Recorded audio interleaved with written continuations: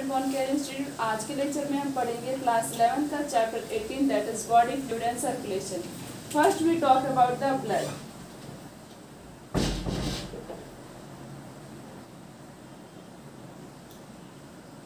Blood is a special connective tissue consisting of the fluid matrix, plasma and formed element. Blood क्या होता है? एक प्रकार का स्पेशल कनेक्टिव टिश्यू होता है जिसके पास मैट्रिक्स प्लाज्मा और फॉर्म्ड एलिमेंट प्रेजेंट होता है।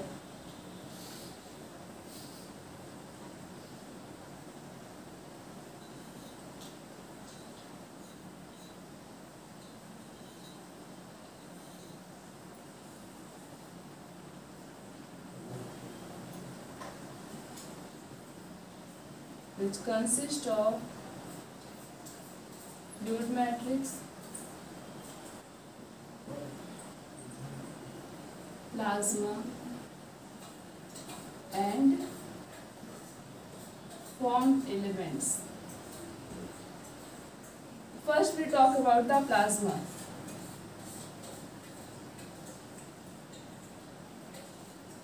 Plasma is a straw colored viscous fluid consisting nearly 55% of the blood. Plasma क्या होता है? इसका कलर कैसा होता है? स्ट्रॉ कलर मतलब बहुत लाइट कलर का होता है. And it is a fluid viscous fluid 55 percent plasma blood में प्रेजेंट होता है.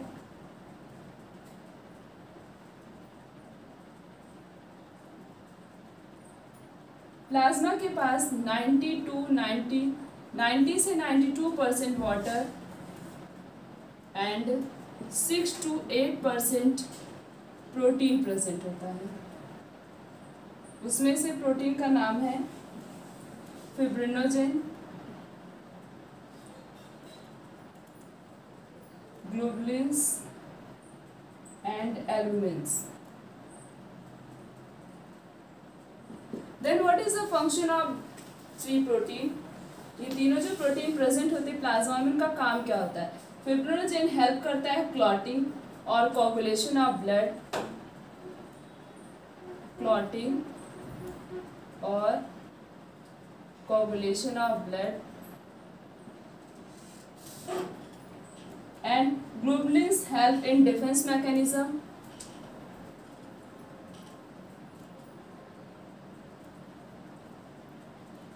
globulins help in defense mechanism. Albumin's help in osmotic balance.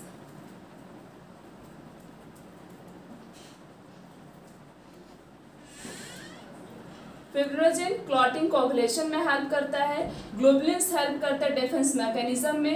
एल्बमिन्स help करता है किसमें? ऑस्मोटिक बैलेंस हमारे बॉडी के अंदर वाटर के कंसंट्रेशन को मेंटेन करता है।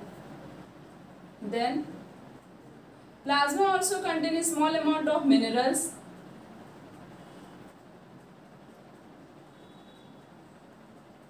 Plasma के पास स्मॉल अमाउंट में मिनरल्स प्रेजेंट होते हैं जैसे कि मिनरल्स के नाम N A plus C A plus M G S C U three minus and C L minus और भी बहुत सारे मिनरल्स प्रेजेंट होते हैं। साथ में ग्लूकोज अमाइनो एसिड लिपिड ये सारी चीज़ें भी प्रेजेंट होती हैं प्लाज्मा के पास। फैक्टर फॉर कोगुलेशन और clotting of blood are also present in plasma कुछ फैक्टर भी प्रेजेंट होते हैं प्लाज्मा के पास, जो कि क्लॉटिंग और कोगुलेशन में हेल्प करते हैं।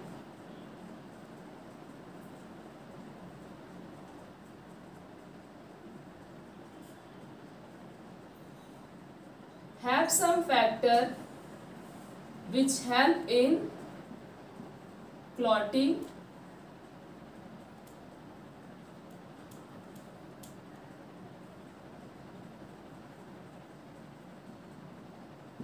which help in coagulation or clotting.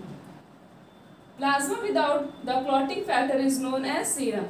पर ये जो क्लॉटिंग कोगुलेशन फैक्टर प्रेजेंट होते हैं प्लाज्मा में वो किसके फॉर्म में होते हैं इनएक्टिव फॉर्म में होते हैं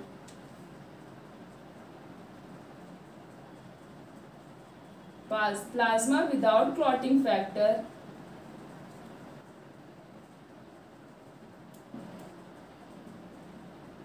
is called serum.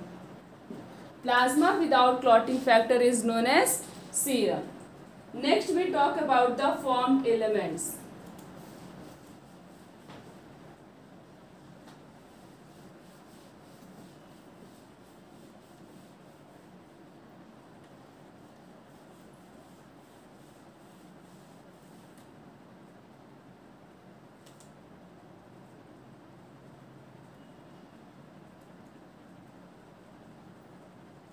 Formed elements. Erythrocyte, leukocyte and platelets are collectively called formed element. Erythrocytes, leukocytes and platelets. इन तीनों को कॉमनली क्या बोलते हैं formed element first we talk about erythrocyte Erythrocyte is commonly known as red blood cell. RBC. Erythrocyte का दूसरा नाम क्या है red blood cell A healthy adult man has average 5 million man female और न्यू बॉर्न बेबी में RBC के numbers अलग अलग होते हैं मेल में प्रेजेंट होता है 5.5 million and female female have 4.5 million then newborn baby newborn baby have 6.8 million male के पास 5.5 मिलियन आरबीसी फीमेल के पास 4.5 million RBC new born baby के पास 6.8 मिलियन आरबीसी प्रेजेंट होता है। आरबीसी के पास न्यूक्लियस नहीं प्रेजेंट होता है।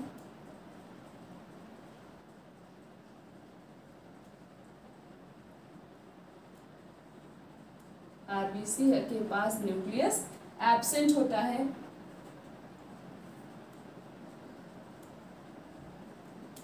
आरबीसी का शेप क्या होता है? Biconcave Its shape is biconcave shape.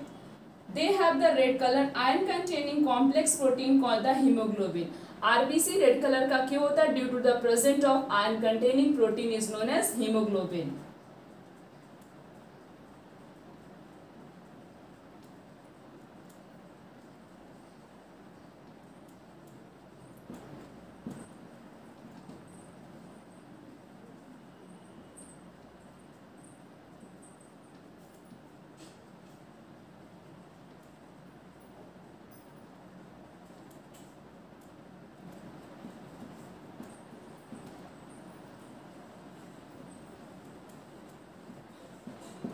Due to the presence of hemoglobin, RBC is red in color. A healthy individual have 4 to 16 gram of RBC in every 100 ml of blood. 100 ml of blood में कितना RBC होता है 12 to 16 gram. These molecule play a significant role. ये करता क्या है RBC?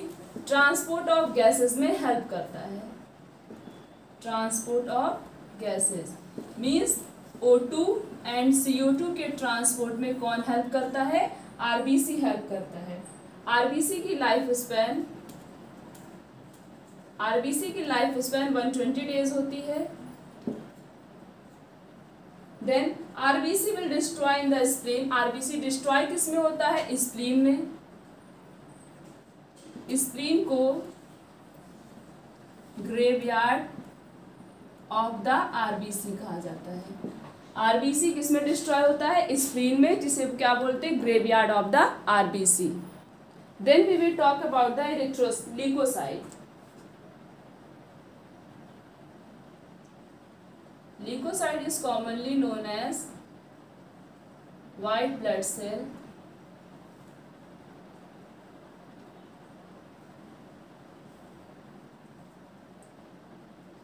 they are nucleated and relatively lesser in number, which is average 6000 to 8000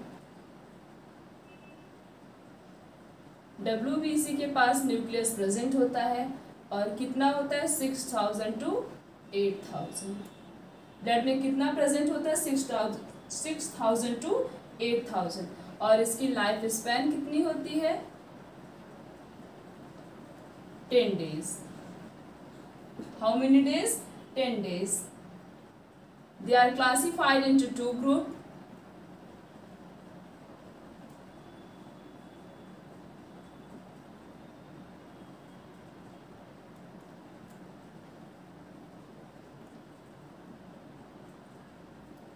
इसके पास हीमोग्लोबिन नहीं प्रेजेंट होता है डब्ल्यू के पास, जिसकी वजह से ये कलरलेस होता है। इसका कोई भी कलर नहीं होता है।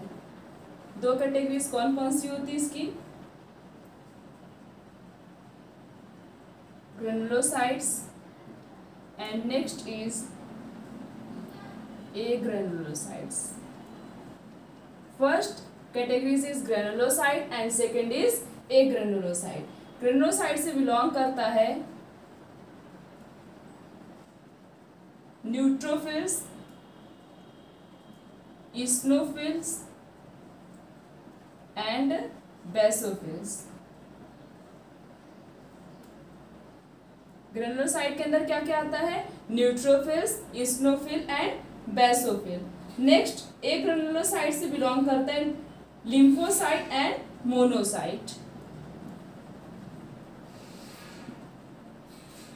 Lymphocyte and monocytes.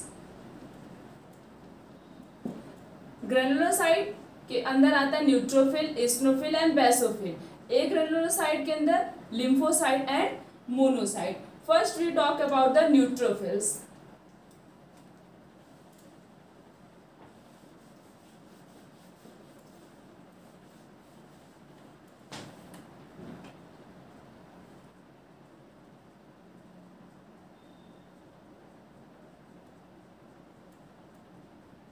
neutrophils are most abundant cell सबसे ज़्यादा न्यूट्रोफिल प्रेजेंट होता है, कितना होता है? Sixty two sixty five percent two sixty five percent then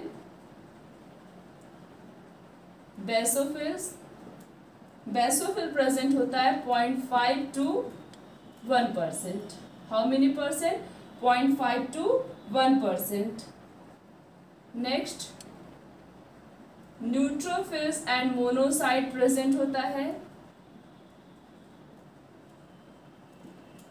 six two eight percent. Neutrophils और मोनोसाइट क्या करता है? फैगोसिटी की तरह ऐड करता है।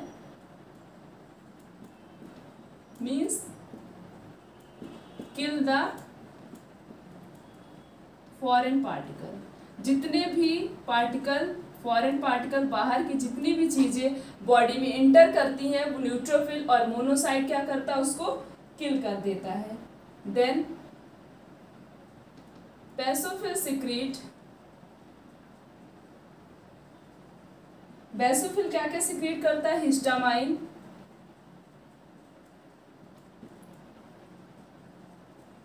serotonin and heparin basophil क्या सिक्रीट करता है हिस्टामाइन सेरिटोनिन एंड हिपैरिन ये करता क्या इन्फ्लामेटरी रिएक्शन में हेल्प करता है? Help in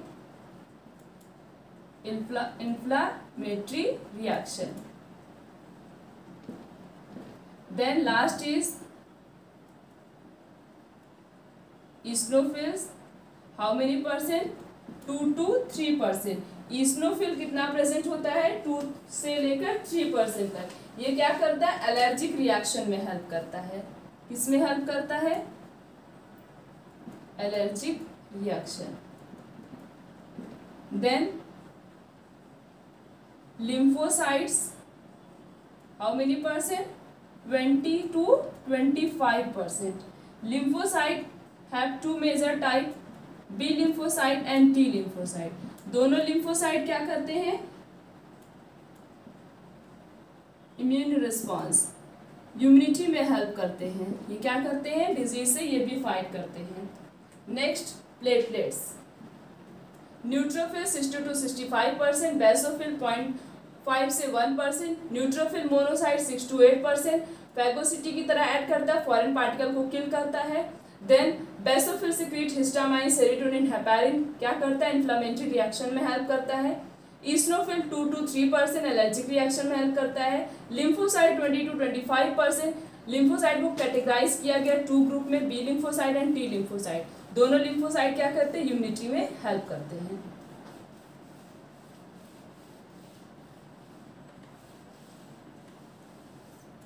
Next is platelets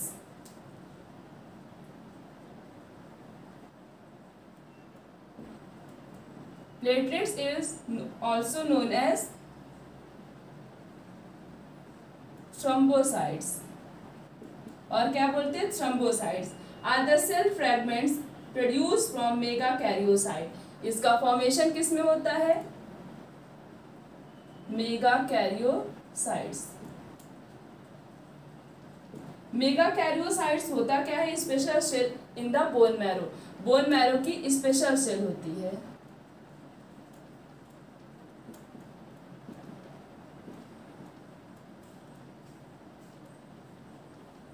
Special cell in the bone marrow कितने प्लेटलेट्स कितना प्रेजेंट होता है? 1.5 to 3.5 lakhs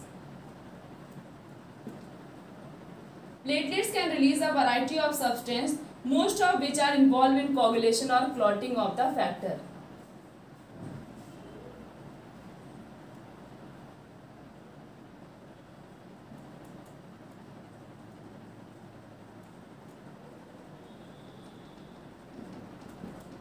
platelets क्या करता है बहुत सारे सब्सटेंस रिलीज़ करता है किसके लिए रिस्पॉन्सिबल होता है क्लॉटिंग और कोगुलेशन ऑफ़ ब्लड किसके लिए रिस्पॉन्सिबल होता है? क्लॉटिंग और कोगुलेशन ऑफ़ ब्लड अगर प्लेटलेट्स के नंबर डिक्रीज कर जाते हैं तो क्या कौन सी डिज़ीज़ हो जाती है? क्लॉटिंग डिसऑर्डर मतलब ऐसी कोई डिज़ीज़ आती है, जिसमें सही से खून रिलीज़ नहीं होता है। एग्ज़ाम्पल में हीमोफीलिया में भी ऐसे होता है। Next we will talk about blood groups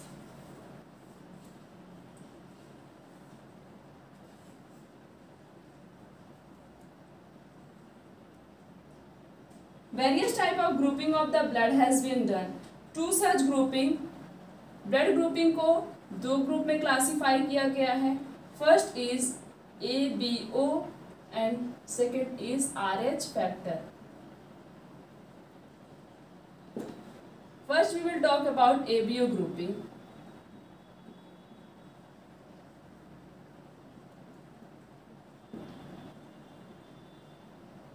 ABO grouping is based on the presence or the absence of two surface antigen on the RBC, namely A and B. Similarly, the plasma of different individual contain two nature natural antibiotics, the distribution of antigen and antibodies into a four group of the blood. How many group? Four group. Four grouping blood present होते कौन कौन से A B A B and O how many grouping A B A B and O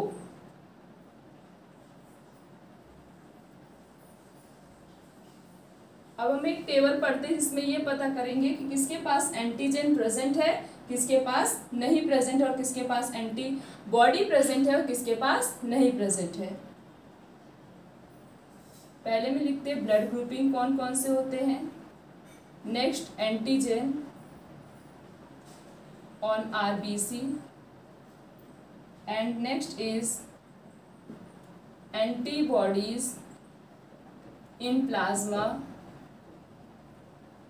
and next is donor group किसको हम blood दे सकते हैं?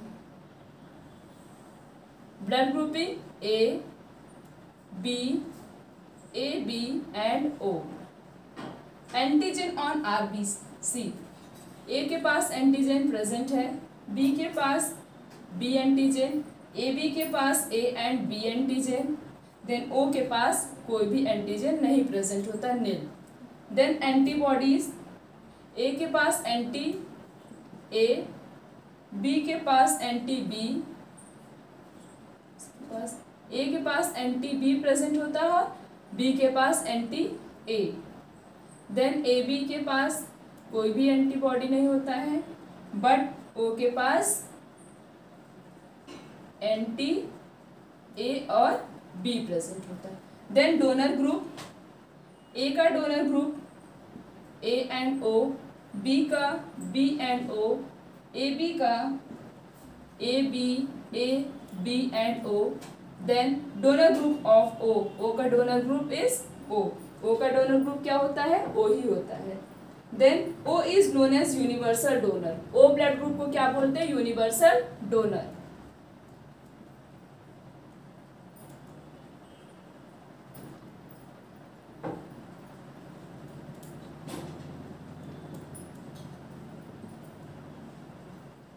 Universal recipient बोलते हैं ए बी ब्लड ग्रुप को और यूनिवर्सल डोनर किसको बोलते हैं? ओ ब्लड ग्रुप को. Then we will talk about the R H factor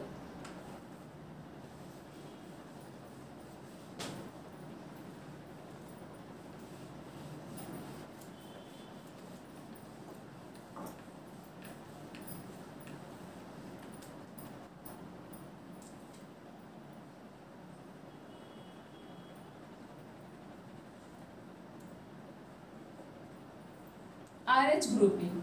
Another antigen, the RH antigen similar to one present in the rhesus monkey. RH antigen किसमें present होता है rhesus monkey में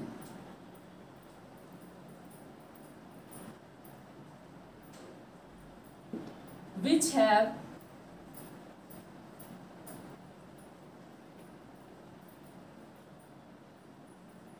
जिसके पास एंटीजन प्रेजेंट उसे कहते हैं R H positive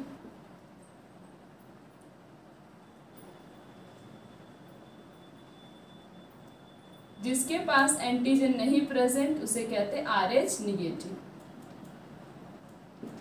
R H positive which have antigen on their surface R H negative which do not have antigen on their surface इसमें एक स्पेशल केस दिया गया है कि अगर हम आर एच को मैचिंग नहीं कराते, तब क्या होगा? आर एच निगेटिव ब्लड है। प्रेग्नेंट मदर का। और आर एच पॉजिटिव ब्लड है फीटस का। R H negative pregnant mother का ब्लड है और आर एच पॉजिटिव किसका है? फीटस का है।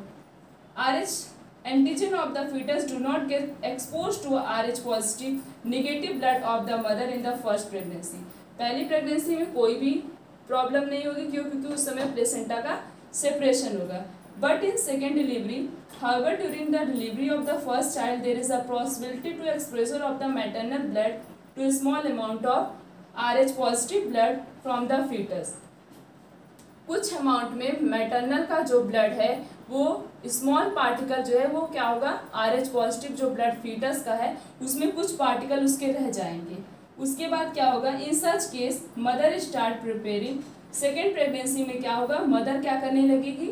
Antibodies against the R H antigen उसकी बॉडी में आर एच एंटीजन के अगेंस्ट एंटीबॉडी का फॉर्मेशन होने लगेगा, जिसकी वजह से फीटस की आरबीसी डिस्ट्रॉय हो सकती है और फीटस की डेथ हो सकती है। This condition is known as this condition is known as erythroblastosis.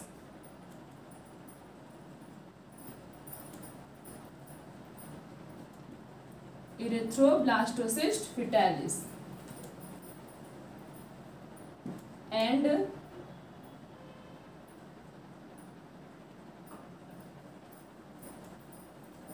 less amount of RBC के नंबर भी कम हो जाएँगे और अनेमिया भी हो जाएगा मतलब ब्लड की कमी भी हो जाएगी। इसी वजह से फ़र्स्ट प्रेगनेंसी के बाद क्या किया जाता है? मदर को एंटी आरएच एंटीबॉडी का इंजेक्शन दिया जाता है ताकि सेकेंड प्रेगनेंसी में सेकेंड डिलीवरी के समय बेबी को कोई भी प्रॉब्लम ना हो। We will talk about the coagulation of blood it is a clot और the coagulum form mainly the network of thread call the favourite जब हमें चोट लग जाती है तो क्या होता है? कंटिन्यूस ब्लीडिंग होती है। सम टाइम कुछ समय बाद वो ब्लीडिंग स्टॉप हो जाती है। ब्लीडिंग ऑटोमेटिक स्टॉप कैसे होती?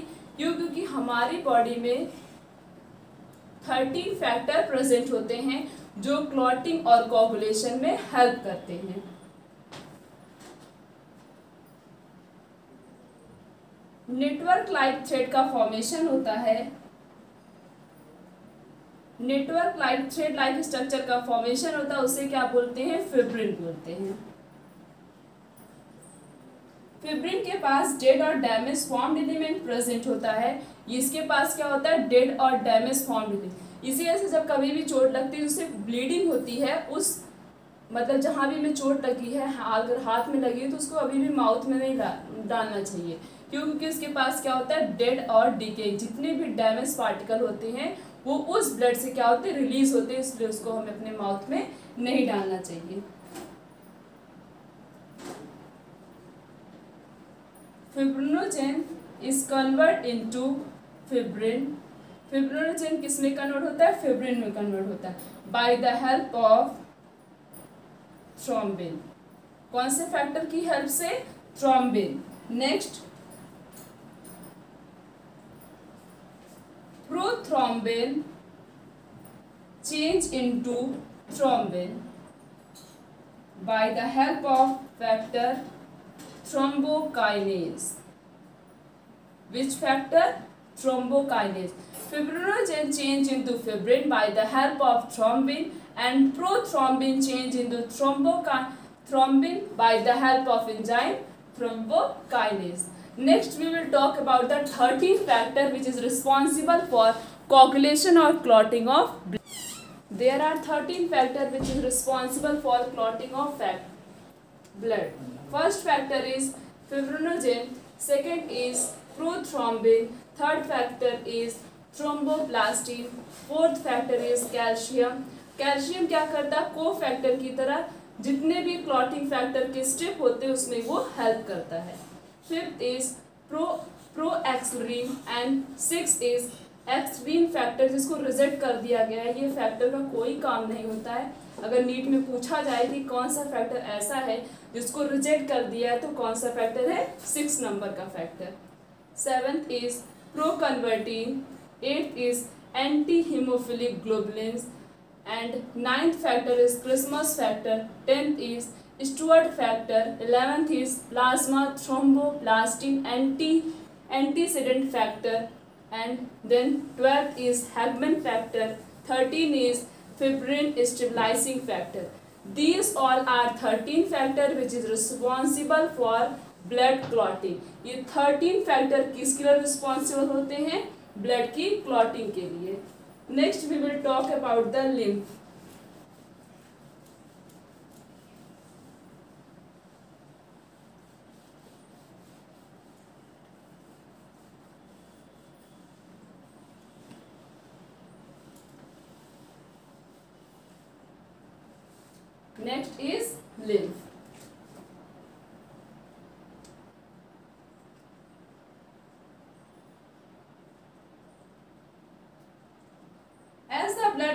passes through the capillaries in the tissue, some water along with the many small water soluble substance move out into the space between the cell of the tissue leaving the larger protein and most of the formed element in the blood vessels.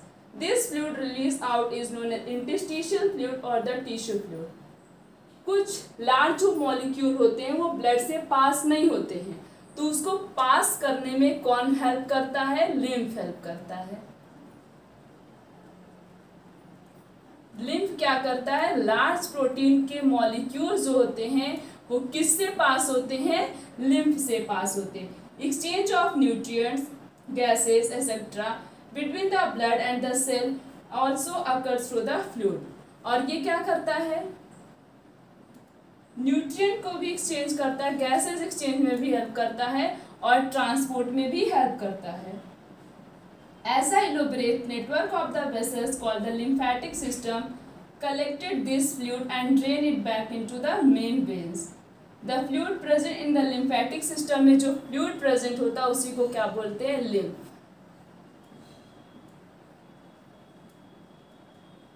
Lymphatic system के पास fluid present होता है, उसे क्या बोलते हैं? Lymph lymph is colourless fluid lymph क्या होता है?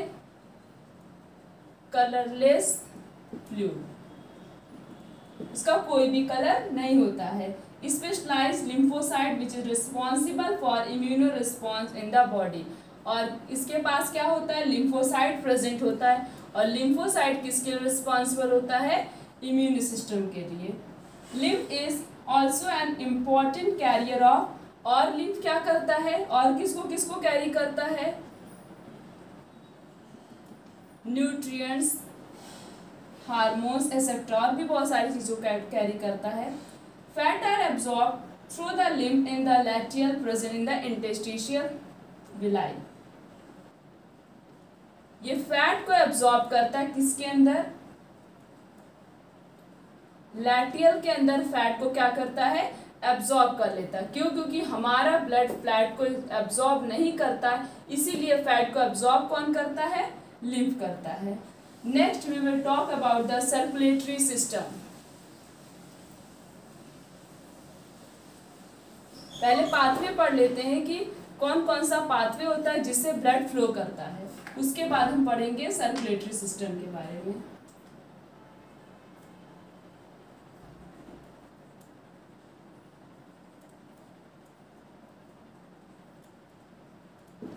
Circulatory pathway circulatory pathway are two type circulatory pathway कितने टाइप्स के होते हैं? Two types how many type two type first is open type and second is close type first is open type and second is close type in open type of circulatory system heart passes through the large vessels into the open space. Open type में heart से blood directly body में flow करता है but in close type heart से blood pass होता है by the help of veins arteries and capillaries जिसमें blood directly heart से बॉडी में फ्लो करता। उसे कहते ओपन टाइप सर्कुलेटरी सिस्टम जिसमें हार्ट से ब्लड किसकी मदद से फ्लो करेगा? वेन्स आर्टरीज एंड कैपलरीज उसे क्या बोलते हैं? क्लोज टाइप देन चैम्बर की बात करते हैं। हाउ मेनी चैम्बर कितने चैम्बर प्रेजेंट होते हैं डिफरेंट डिफरेंट एनिमल्स में?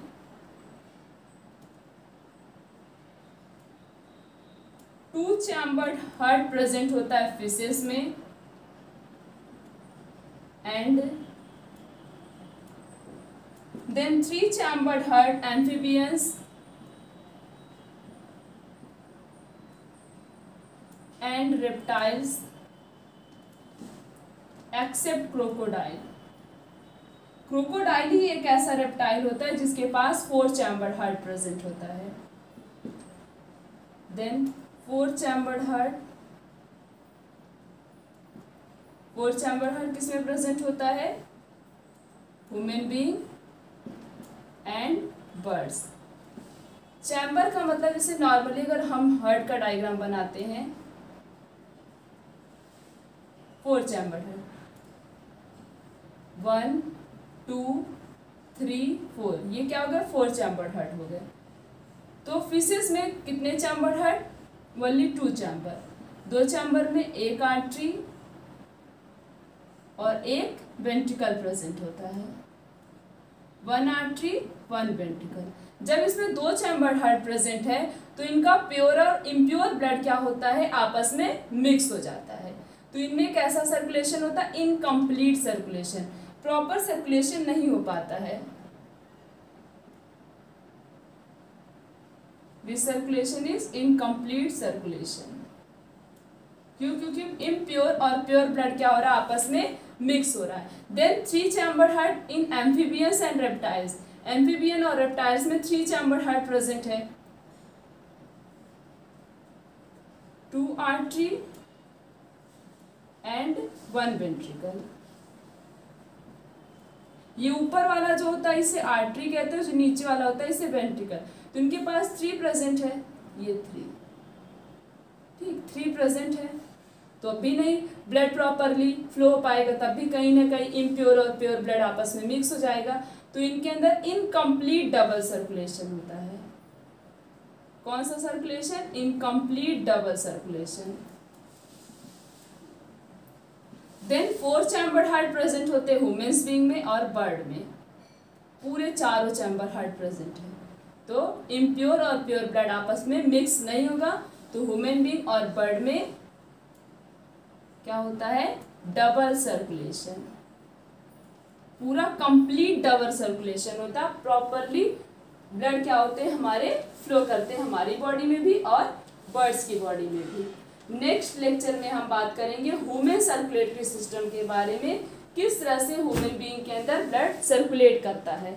आज का लेक्चर बस यहीं तक. Thank you